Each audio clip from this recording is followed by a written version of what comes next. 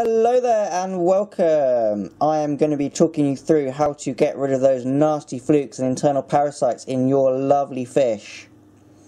The two products which I recommend highly are Fluke Solve and Kusuri Fluke M. Now, what is the difference between these two products? Because essentially they do very, very similar things. Well, both of them have been designed.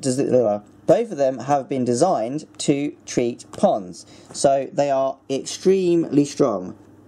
100 grams treats 25,000 litres.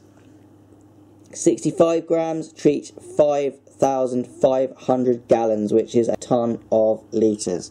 So you get value for money in an aquarium. What do they do?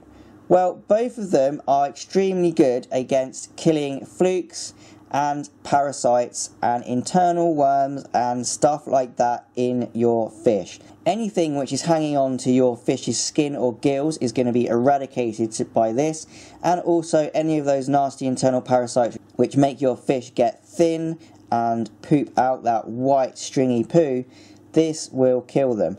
Both of them work in a similar way. They get absorbed by the fish's body and will then basically as far as I understand it, dissolve the internal digestive tract of the parasite. The parasite will starve and then it will die and be pooped out or absorbed by the fish. Lovely stuff.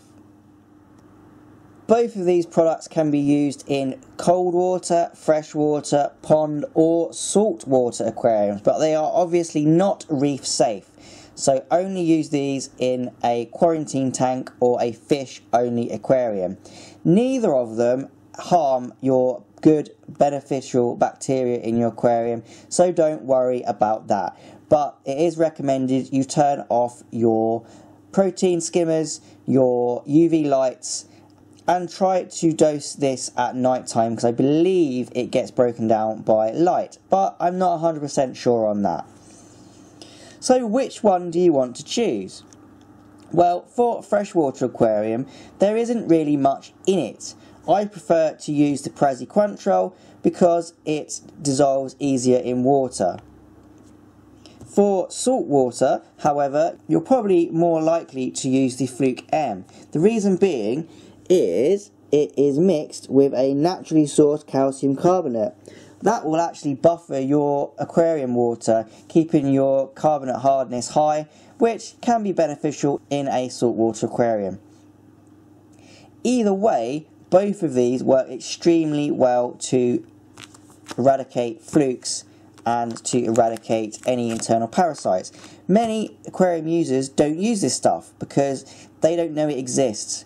However, here I am recommending them to you. You get your value for money and they are really, really good. One tip I would like to give you though, if you are going to be dosing Fluke M, um, you can do a pre-course of chloramine T and what that will do is soften up the fish's membrane, mucous membrane that is, and allow the Fluke M to absorb into the body a lot easier. Sometimes if the mucous membrane is too thick, it will actually shield the parasite. Using the chloramine T, chloramine T beforehand will break this down a little bit and help the Fluke M to work properly. So, here are your Fluke problems solved. Woo! And thank you for watching. If you like my video, subscribe and like it, and happy fish keeping!